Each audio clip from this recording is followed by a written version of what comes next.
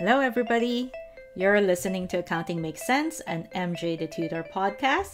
My name is MJ, and I am your host, here to help you prepare for your CIMA exams, offer study tips and resources, and sometimes explore topics that are external to CIMA but still relevant to the business world. In this episode, we're going to discuss Porter's Diamond Model, which is a theory highlighting a nation's competitive advantages in the international market. But we are going to put a twist to it by talking about it in Game of Thrones style.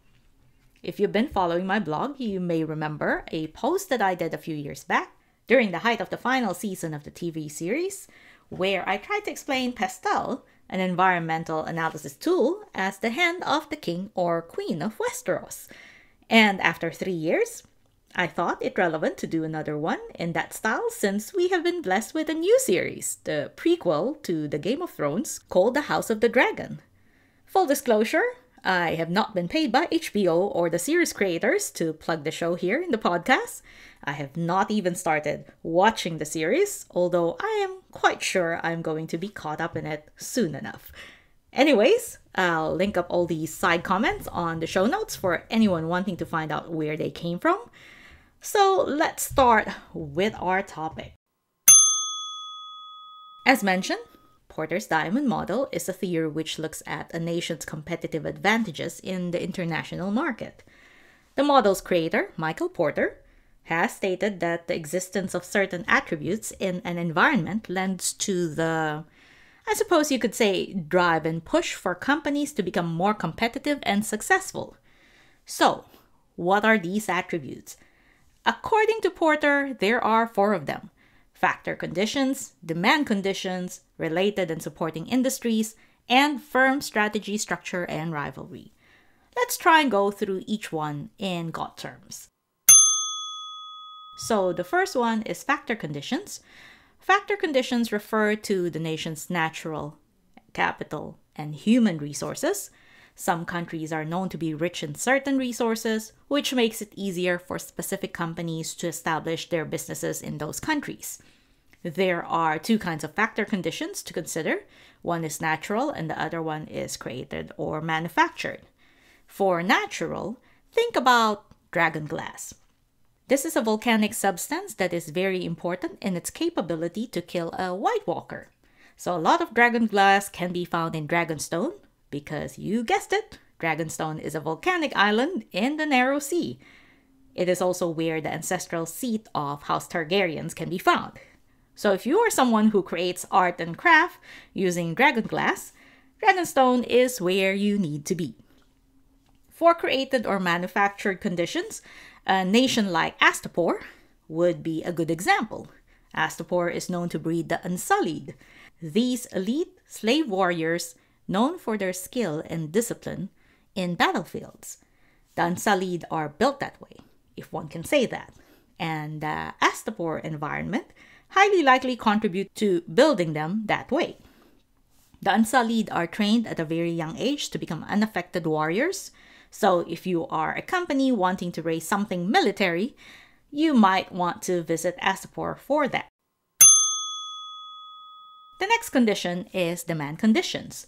Demand conditions refer to the local market and how sophisticated the customers are with their product or service expectations. Demand conditions are the main drivers for a company to grow, to innovate, and to improve in quality because the customers demand it. In Game of Thrones, this could be shown in the various categories of swords available. We have Needle, which is Arya's sword and looks like a short fencing sword, good for quick stabbing. And then we have a whole array of swords made of Valyrian steel and a couple of daggers made of dragonstone. So, as you will remember in the story, if you need to kill a White Walker, you should demand to have a Valyrian steel sword or a dragonstone dagger. With having these demands from customers, this would be pushing and driving weapon masters and blacksmiths to make better weapons. The third attribute is related and supporting industries. Related and supporting industries refer to the presence of businesses that support the main company.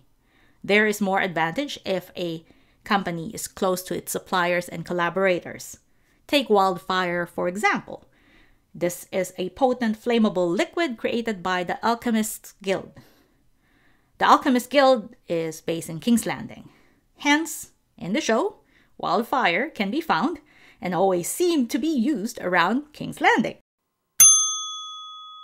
Lastly, we have firm strategy, structure, and rivalry, which refer to how companies are created, organized, and managed, which then affect their strategies and structure. Rivalry or competition pushes companies to keep improving so that they either gain or keep advantage over rivals. I don't think there is enough time to discuss all the strategies and structure and rivalries that happened when the War of the Five Kings exploded after the death of Robert Baratheon. We've got Joffrey Baratheon, Stannis, and Renly Baratheon, Balon Greyjoy, and Robb Stark, who were vying for the throne. We don't even count the others outside of the five kings, like Daenerys, or the schemes of others that were not really kings, like Margaery Tyrell, the High Sparrow, and others. But in having the war and all these battles, each side was always strategizing to gain and win the fight for the throne. So, that is it for me today. I hope you enjoyed this episode and learned a little bit more about Porter's Diamond in Game of Thrones style. If you're a Game of Thrones fan, I hope I did it justice. Please do not forget to hit subscribe or follow the podcast to catch the next episode. As always, thank you for listening to Accounting Makes Cents. I'm your host, MJ the Tutor. If you want to learn more tips and advice, you can visit the website at www.mjthetutor.com. Or if you want to connect through social media, I am available on Facebook, Instagram, and Twitter under the name MJ the Tutor. I hope to see you again next time. Ciao for now!